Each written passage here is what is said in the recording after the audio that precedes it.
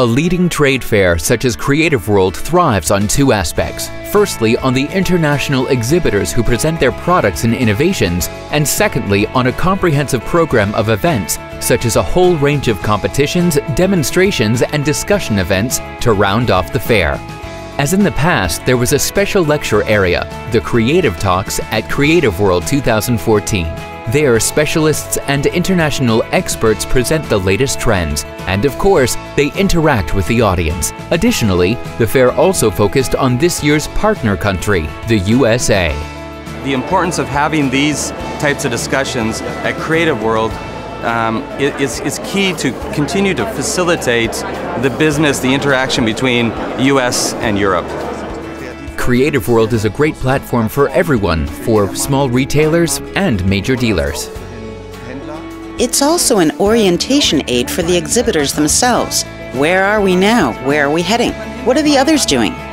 Creativeworld generates impulses and presents new products because Creativeworld is where the creme de la creme get together. The presentation of the Creative Impulse Awards brings both aspects together. The Oscar of the hobby, crafts, and artists' requisites segments. They annually honor the most imaginative and therefore most creative products of the year. As always, the event is packed.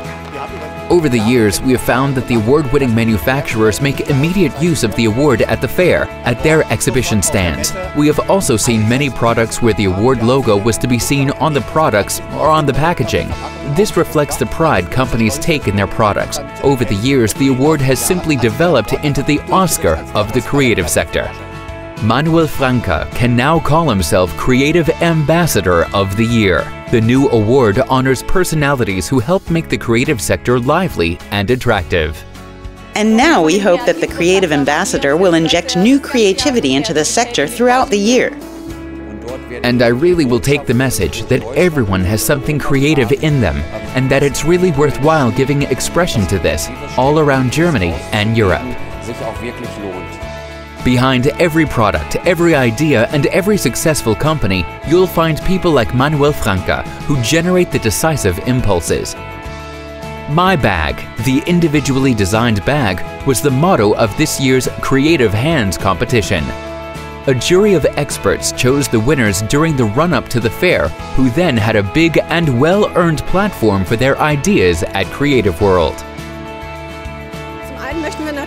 In the first place, of course, we want to promote the textile sphere at the fair. And with the increase in the number of entries to 90, we've been successful in this.